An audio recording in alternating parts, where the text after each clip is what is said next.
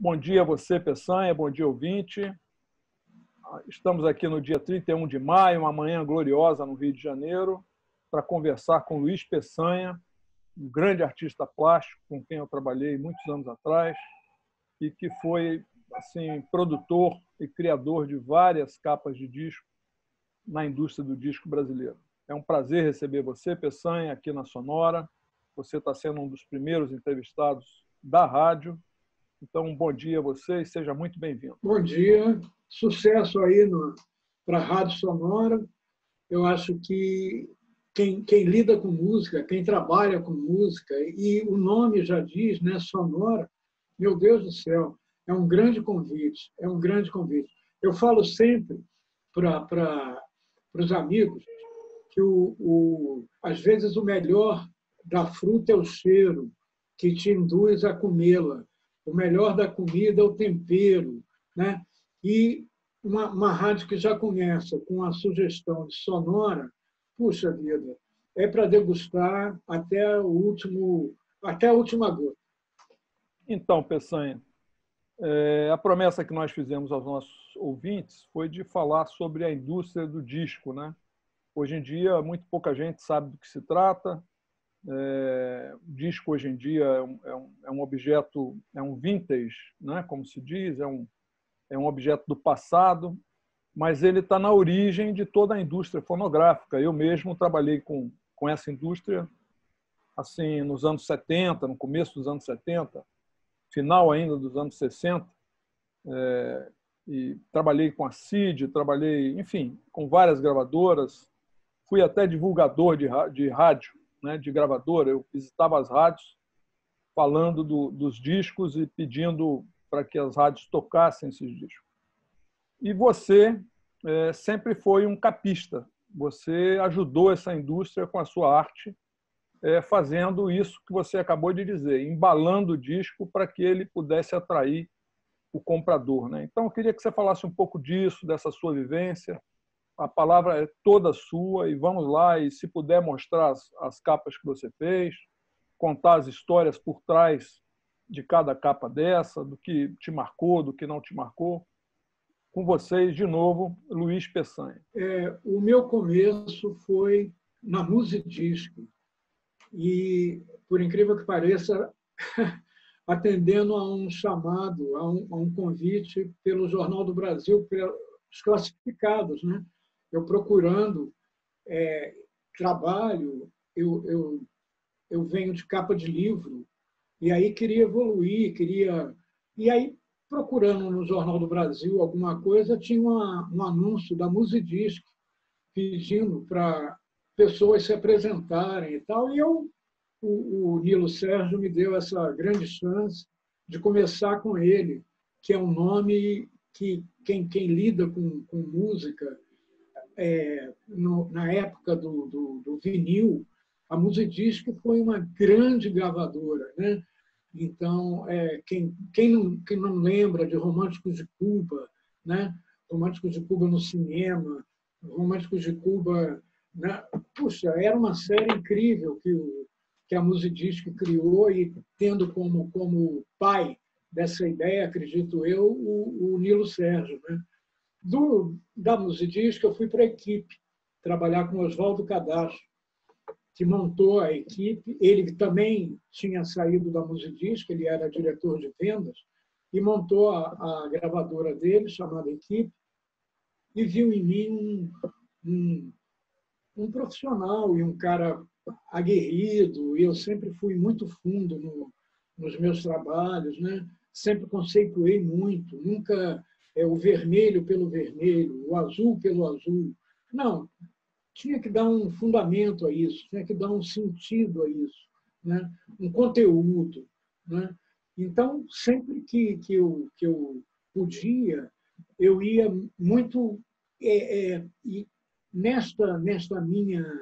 É, não, não vou chamar de obsessão, mas nessa minha leitura, foi muito bom, porque eu trouxe uma coisa do livro que eu não gostava de receber um informe do editor. Eu queria conversar com o autor para pegar subsídio, para ver o que, que era. Sempre tive essa, esse foco. E em disco eu continuei com isso. Então eu ia muito ao estúdio e fiz grandes amigos, né? tanto músicos como cantores, como autores. E eu ia para o aquário, que a gente chamava, né? o aquário era aquela cabine onde tinha mesa de som, e ficava lá procurando não interferir. E procurando não, não podia interferir. Eu era um, um ouvinte ali, e eu estava ali é, é, num, num plus, né? Eu tinha a chance de ver como se grava, como é que faz uma era uma mesa na época a mesa de 16 canais era assim uma revolução né? Todo mundo tinha oito canais. Aí quando entrou a mesa de 16 é, aí eu vi muita coisa né? E é muito interessante isso que você está fazendo que as pessoas não sabem como é um disco gravado né? então o, às vezes o cantor grava só um verso que o, o diretor artístico não gostou e depois ele monta, né? ele dobra a voz, às vezes dobra a voz do artista. Né? E quando o cara vê o produto feito, não tem a menor ideia de como o disco é produzido. E, eu, eu, eu tive a oportunidade de ver uma matéria uma da. Oh, meu Deus, não posso esquecer o nome dela eu não, é, foi da, da Fernanda, Fernanda, Fernandinha, Fernanda Abreu, falando exatamente isso. As pessoas não sabem é, como é feita a, a, a cozinha para o disco sair. Né? E no vinil a gente tinha muito isso. Uma capa não é só do diretor de arte, no caso eu, o, o layout, o designer, tem o fotógrafo, tem o produtor, tem o maquiador, tem todo um. Tem a gráfica. É, é, exatamente, exatamente. Tem todo um arcabouço, tem toda uma equipe para sair aquela foto. Né? A foto não é só o, o fotógrafo apertar o, o botão né? e o diretor de arte ou o designer dizer assim, olha, vira para cá, vira para lá. Não é, não é por aí. A banda não toca por aí, entendeu? E, e esse lado você não tem mais. Além do o vinil, tinha oportunidade não só do espaço físico, 31 por 31, depois surgiram os álbuns duplos, que foi uma, uma coisa muito boa para o designer, para o artista em si, porque a capa não, não, não, deixa de, não deixa de ser, não. Ela é só uma capa do produto que é a arte do, do compositor, do letrista, do cantor, do músico. Né? Ela capa é, é o que envolve, né? mas o, o, importante é o que vai dentro da capa. Né? E a capa valoriza, é claro que ela valoriza. É, no final dos anos 80, 90 é, ainda, quando começou, quando essa indústria começou a se modificar, quer dizer, nos anos 80 o vinil migrou para o CD, né? E depois migrou para o DVD, até que hoje em dia você tem o stream. E, e, você tem uma arte muito parecida com essa, do nosso parceiro até, que é o, Roger Hitz. Ele hoje faz o clipe, que é a embalagem é, do, da música, né? Mas no final dos anos 80, o que eu queria dizer, é, você tinha ali umas capas maravilhosas. Né? Eu me lembro do, daquele CD do Pink Floyd, do, do outro lado da Lua, né? Do, é, tinha umas capas assim com que, que, se montavam, que faziam, que articulavam entre si, né? E aí de, de repente acaba essa indústria. É, é, impressionante isso, porque a gente perdeu assim uma arte é, fantástica que era desenvolver essa embalagem para esse produto disco. Né? Claro. E, e só complementando o que você está falando, é, os escritos né, de, de, pessoas que escreviam na, nas contracapas. Né? Eu tive o prazer e a, a, até, vamos dizer, a, o ofício, né? honra já seria demais, mas o ofício de fazer uma capa para o Vitor Assis Brasil, na época foi a CID que lançou, né? sobre a etiqueta Magic Music, que era uma das etiquetas da CID, E o Vitor, que vivia nos Estados Unidos, não tinha espaço aqui no Brasil. E a CID deu esse espaço para ele. E quem escreveu a contracapa foi Elis Regina. Né? Você tinha contracapas assim, escritas pelo Ronaldo Boscoli, fantástica. A Luísa de Oliveira, fantástico. Né? É, Fernando Lobo, fantástico. Né? E isso se perdeu. Você não, por mais que o clipe, o clipe hoje é uma evolução, como você está falando, hoje o clipe musical é como se fosse a capa de, do artista, né? Uhum. É, é onde você tem a oportunidade de, de ver de forma plástica, de forma visual, o conteúdo do, do artista. Né? Então, é a praia, o cara e com muito mais riqueza, porque o, o cinema é arte completa. Né? Você tem som, você tem imagem, você tem tudo. Você é. tem a fotografia, você tem a interpretação de quem E a tá edição ainda tá... por cima, né? Você pode começar é, na praia exato. e terminar na Alhures, né? Em Paris. Exato. É. e a foto não, a foto é uma coisa estática. Uhum. Ela não, não tem a dinâmica que tem um filme e nem se propõe a isso. Até eu, eu, eu, eu brincando comigo mesmo, eu falava, puxa, vai ser um prazer eu trabalhar com holografia. Imagina uma capa em três dimensões, em que, mas aí, nós não chegamos a isso. Mas seria fantástico, né, que você tivesse uma capa holográfica, né, tridimensional. Um, puxa vida, seria um barato. É, tem mas a realidade aí, expandida hoje em dia que quase é, isso, né? Mas você depende do é, computador para ver, né? Não é um. É, e, e, embora a gente sinta saudade, entre aspas, né? Saudade, é, há que se entender essa evolução, uhum. é evolução mesmo da, da tecnologia. É. eu, quero, eu quero ouvir você falando desse bastidor, mas, mas você está falando de saudade e tudo mais. Eu, eu me lembro que você já me chamou algumas vezes para ir na Feira do Vinil, né, que você conhece o, os organizadores e tal, e que tem sido um sucesso.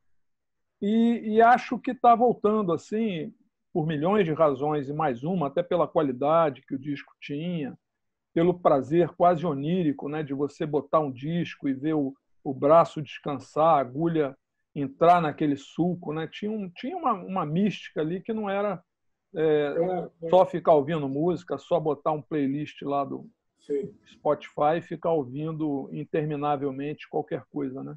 É, mas fala para mim dessa sua experiência com a Feira do Vinil. Quer dizer, como é que rola essa, essa, essa relação do consumidor com o expositor, com a feira? Ah, o, o, há quem diga, inclusive, que aí são os experts, né, que o som do vinil é muito superior ao do DVD e a de tudo. O som da matriz do vinil, essa coisa toda, quando eu via prensar o disco, né, botar aquele plástico preto e entrar a matriz em, em níquel, se não me uhum. engano, era níquel, o material que fazia. O disco base, né? A base. É, é. exato. E, então, dizem que o som do vinil é muito superior, né? Você vê cada instrumento, você vê a, a coisa de forma muito mais pura, muito mais. É, um, quem, quem não conhece ou quem, quem não teve o prazer de ouvir um braço Torrens, né? Baixar em cima de um disco, um disco da Deutsche Grammophon, né? Um, aquela coisa extremamente bem feita. Enfim, é. Era realmente um, uma joia, né? não, era um, não era só um disco. Né? É. Mas... E agora, a feira de vinil, que você citou uhum. e pediu para eu falar um pouco, eu, eu quero falar aqui no nome do Marcelo Maldonado, que é, se não o organizador, um dos grandes organizadores. Né? E o Marcelo trabalha com vinil e com discos que passaram de vinil para o CD. Eu consigo algumas coisas minhas uhum. que foram feitas em vinil que está em CD. Eu não sabia, eu nem sabia. É, é, ele, ele, ele, além de organizar a feira, ele tem uma banca que funciona na Praça São Salvador, no domingo, uma uhum. banquinha muito legal. E eu sempre encontro com ele e com pessoas que frequentam, né? e falando de, de, do vinil, falando de, de, desse, dessa época de ouro né, que a música teve. E é, essa feira, ela de, de alguma forma, ela, ela não sei se ela vem resgatar, mas ela vem posicionar um produto, aí falando de produto, que estava esquecido. Né? É. E hoje em dia você vê artistas contemporâneos que eles é, fazem, quando tiram a forma física do disco, não coloca só na internet, que é o hoje em dia ninguém faz, quase ninguém é, trabalha com a forma física do disco, né? Mas quando quando o artista é, vai além, você vê que ele faz o disco em vinil, em CD, ele tem a preocupação de registrar aquele disco.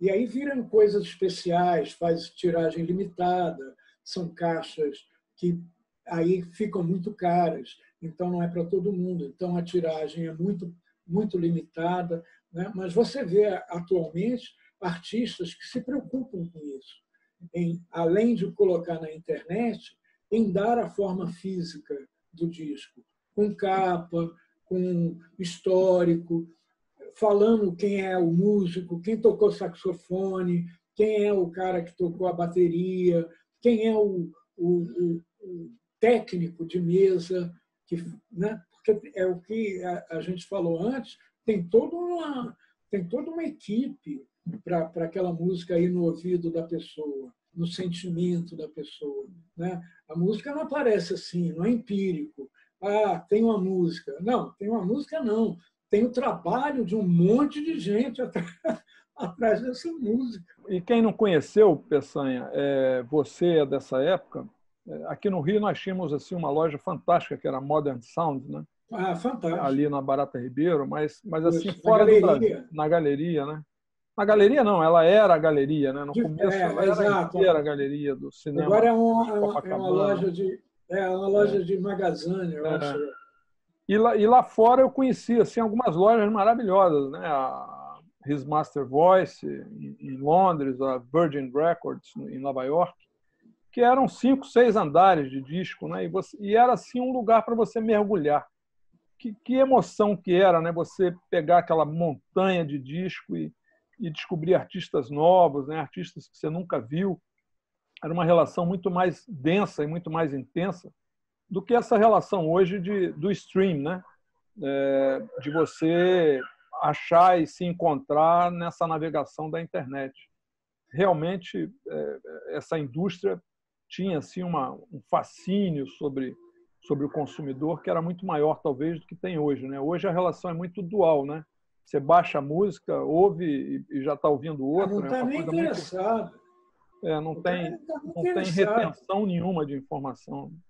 É. Fala para mim dos discos que você fez capa. Esse é da equipe. O Oswaldo gostava muito do meu trabalho e sempre foi um inovador. E aí essa capa, o Sérgio Ricardo, que já era o Sérgio Ricardo, o grande Sérgio Ricardo, compositor, autor, cantor, né? e artista plástico. O Sérgio tem pintado, está pintando e muito bem, por sinal. E nós fizemos esse, esse trabalho e, para você ter uma ideia, né, é, um álbum duplo, que loucura você fazer um álbum duplo para a música brasileira, né? porque sempre foi um, um sempre foi um, um eu acho que não é deixado para trás, mas sempre foi assim em segundo plano, né? Sempre era a capa mais simples, sempre era uma foto do artista na capa, né? E o Oswaldo não, queria ir, ir, adiante. E nós fizemos esse o Arrebentação, né? eu participei, tive a honra de participar, com um desenho meu. Olha, quando que eu não era conhecido, ainda não sou, mas eu era muito menos, né? E, e, e o, o, Oswaldo deu força, não, vamos botar o seu desenho. E o Sérgio adorou. O Sérgio queria esse desenho para ele e a gravadora não deu, ele ficou chateado. Então, ele queria para ele botar na parede, essa coisa toda.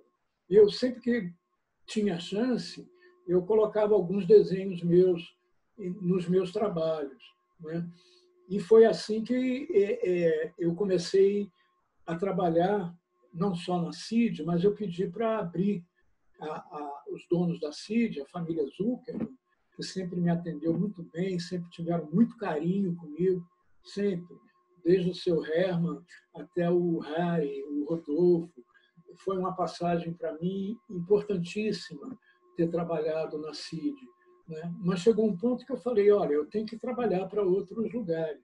E comecei a trabalhar para o Odeon, fazer trabalho. E conheci o Hermínio Belo de Carvalho, o grande produtor, artista, compositor. E vocês, vocês chegaram a desenvolver alguns projetos juntos, não foi? Do, Fizemos. Ele, é, é, é, o meu primeiro trabalho para eu nem tenho, mas tá quem quiser pesquisar está lá no tá lá na internet chama Violão Viajeiro, que é do João de Aquino. O, o, o Hermínio produziu esse disco e me chamou para fazer a capa. Ele era da Odeon, produzia para Odeon. E aí eu, foi aí que eu comecei a sair um pouco da CID, né? onde eu tive um grande tempo com o Duval Ferreira, um cara maravilhoso, um produtor musical genial, que me convidou para ir para lá. Foi ele que me convidou. Né? E foi fantástico a, a, permanência que eu tive com o Durval. E depois com Aramis Barros, que também é um, um grande músico, um grande produtor. Né? O Aramis é, é músico da antiga banda chamada Os Canibais. Quem era de rock conhece bem. E eu fiz a capa do, dos Canibais na equipe. Né? Para ele, mas muito depois é que eu fui trabalhar com ele, ele como diretor musical. Então, voltando a, a, a Odeon, o Hermínio, que eu conheci na Odeon, né? e aí ele me convidou para fazer e usou um desenho meu. E o Hermínio também é um, um, um produtor que vai adiante, não é aquele, ah, vamos botar a cara do artista, vamos botar o artista. Não, vamos e colocou, tem trabalhos do Hermínio em capa com Canabrava, o artista plástico grande. Né? Então ele usava, né? como o Nilo Sérgio já usava nos anos 70. Né? Tem uma capa é, batucada fantástica da Musidisc, que é um desenho do Aldo Martins. Começou a minha relação de trabalho fora da, da CID, que foi ótima, eu fiz Bezerra da Silva, né? aquele Pega Eu, que eu sou ladrão, que está na moda agora. Né? O, o Bezerra ficava nos corredores da CID, tentando gravar, tentando gravar e não conseguia, até que eu participava das reuniões de produção. O Aramis era o, o Durval tinha saído, foi para a RCA Vitor, foi fazer a direção artística da RCA Vitor e entrou o Aramis. E o Aramis falou, e eu adorava a música, né? E, e o Aramis falou, Peçanha, vamos lá na reunião forçar o Harry para gravar. E, foi um, um estouro. Né? O Pega Eu foi o lançamento do Bezerra, que era cantor de coco. O Bezerra não era cantor de partido alto, não era ligado nessa, nessa veia musical. Né? Ele era cantor de coco.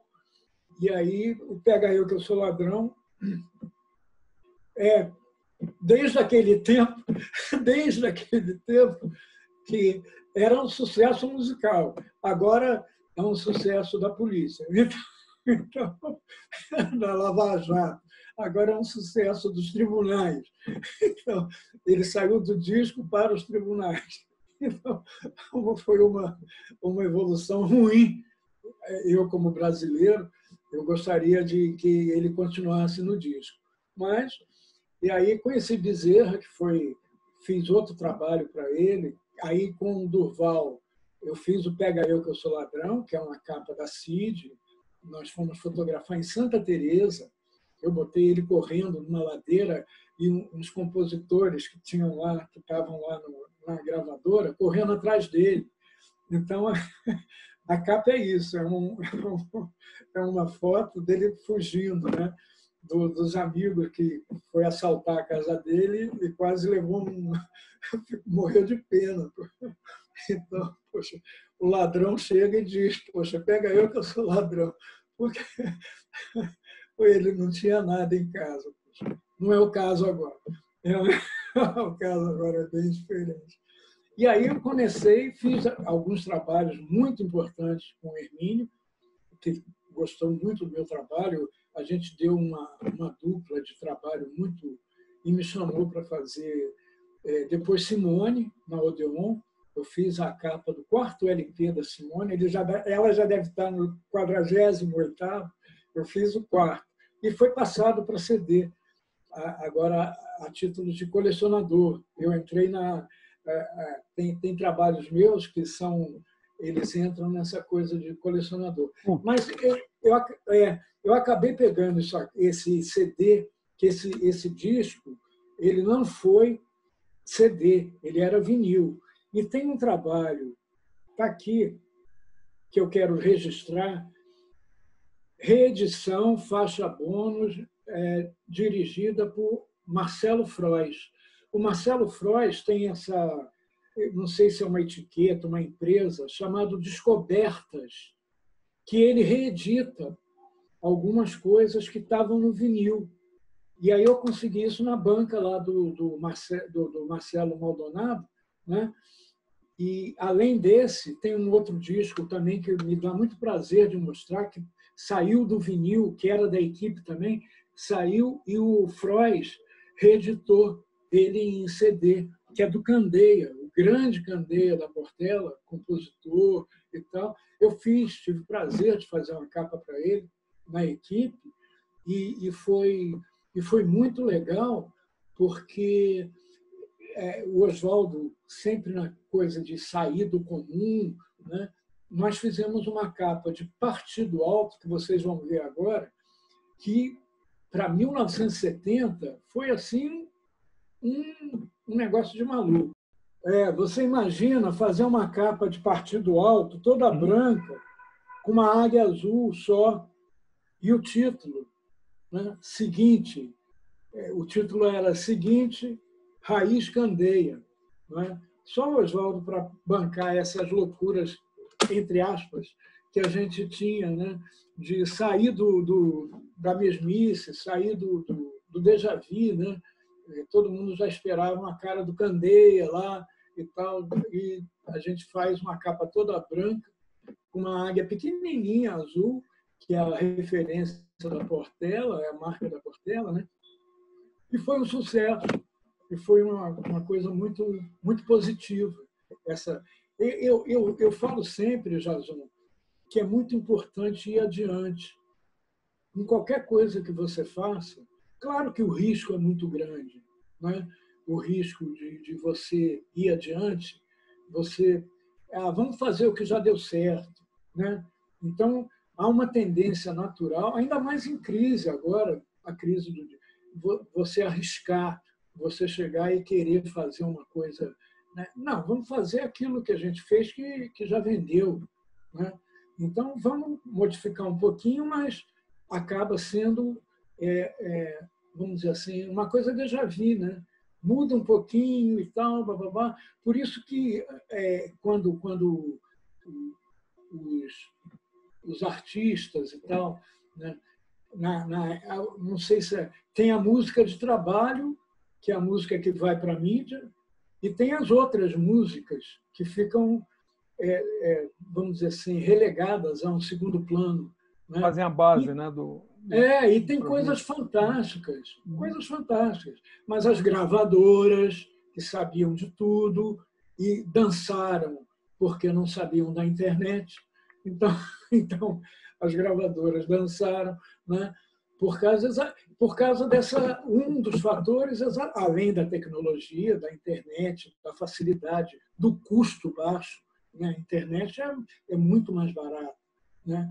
do que você é, produzir alguma coisa. Peçanha, a gente está já chegando quase no fim aí da nossa meia hora. É, tem duas coisinhas que eu queria que você falasse. Primeiro, da sua relação com, com artistas, por exemplo, como a Nana, a Nana é, é, ela estava na Argentina, estava fora praticamente do mercado fonográfico brasileiro, e quando ela veio, o Durval, na CID, né, abriu um grande espaço e eu acho que justo e merecido e com tudo. É porque as gravadoras, a Nana falava muito é, com divulgador, né? Poxa, a minha música não, não, é, é, a, não vende, não. A, a, a, discussão era exatamente essa. É, porque o disco era um disco elitista, né? os, os vendedores achavam que era um disco elitista, que por isso não tocava nas, nas rádios, entende? E aí ela falava, puxa, mas se não, não vende porque não toca.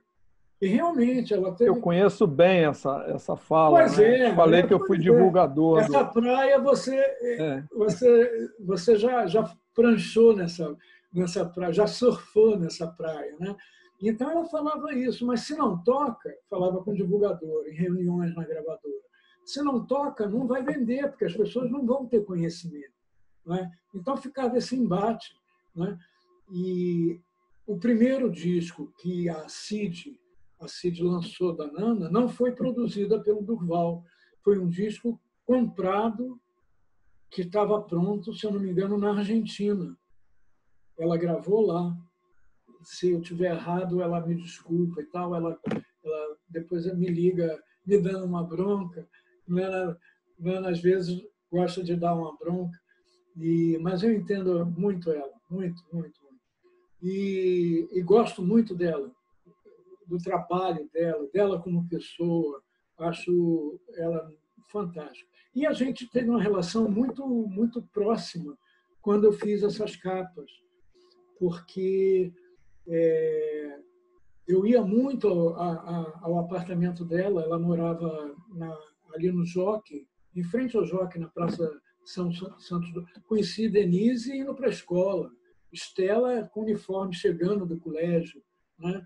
Outro dia tive o prazer até de, de estar com a Denise, um trabalho seu, ela estava junto com você, se eu não me engano, e ela me deu o telefone de Nana, falou, ah, liga para ela, ela vai adorar e tal. Eu liguei, mas não deu água, não, não teve retorno, acho que ela estava ocupada, alguma coisa assim.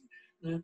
Mas a gente era muito ligado né, né, é, pelo trabalho, a gente acabou ficando criando uma, uma coisa extra de, de trabalho no sentido de amizade, de relação. Eu gostava muito. Ah, quem não gosta de Dorival Caymmi, né? Não querendo desmerecer de maneira nenhuma Danilo e, e o Dori, né? E a Nana, né? Mas salve Dorival Caymmi, né? Ai que saudade eu tenho da Bahia.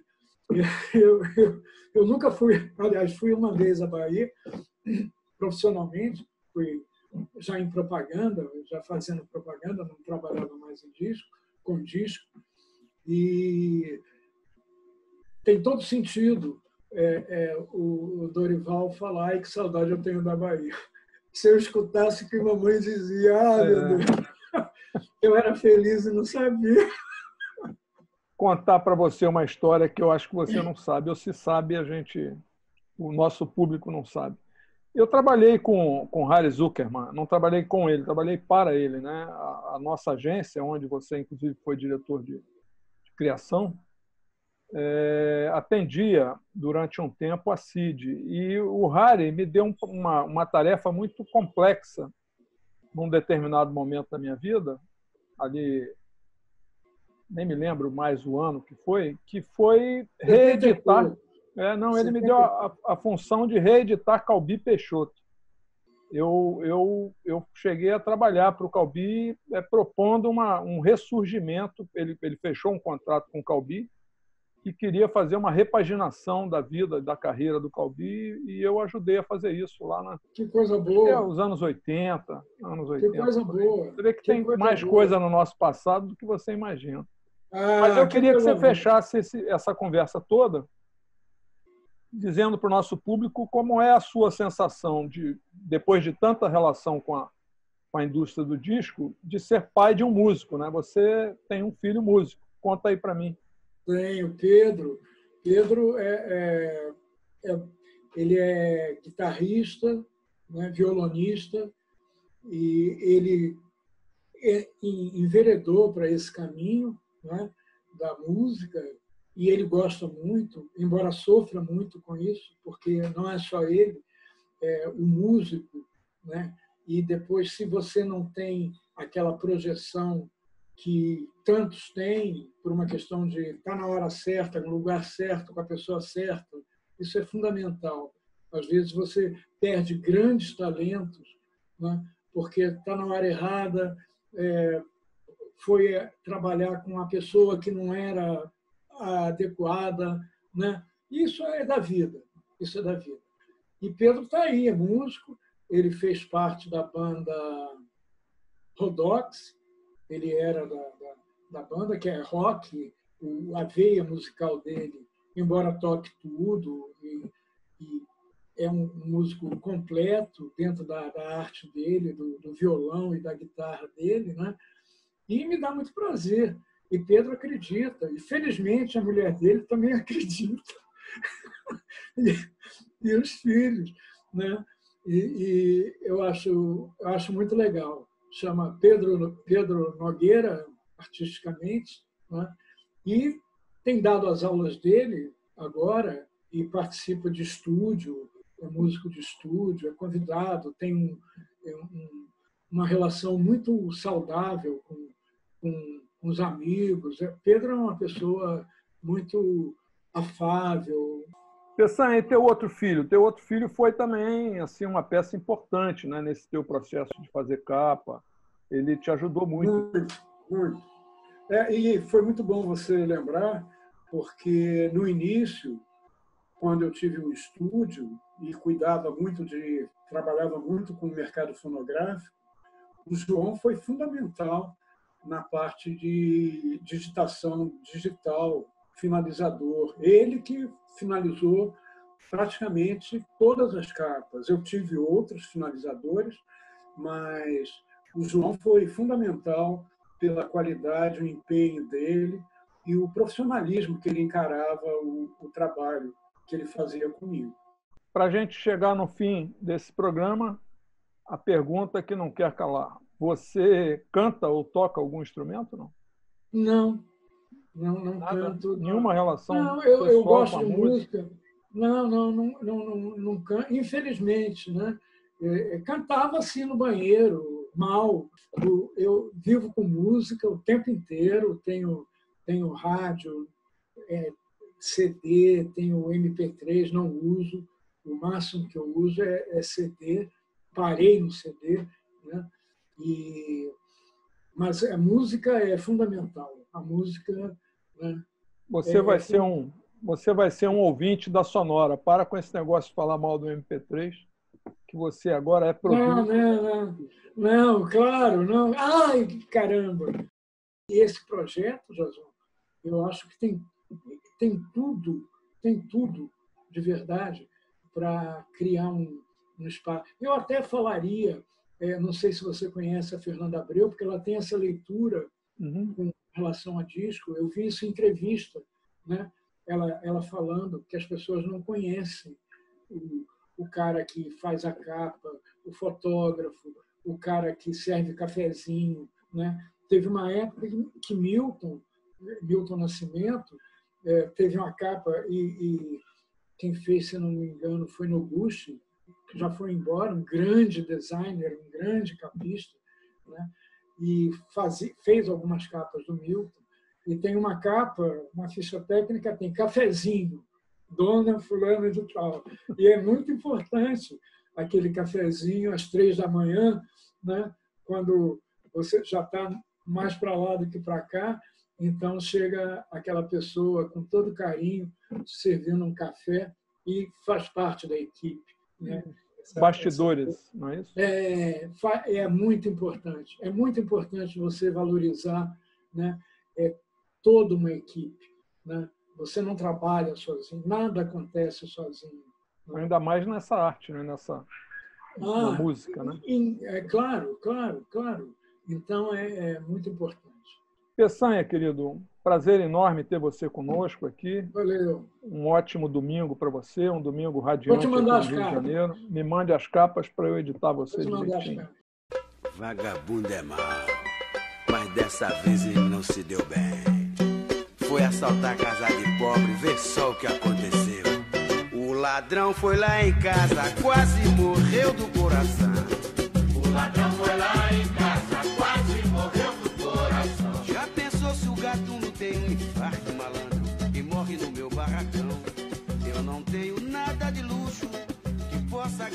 ladrão, é só uma Sonora para quem curte música e seus bastidores.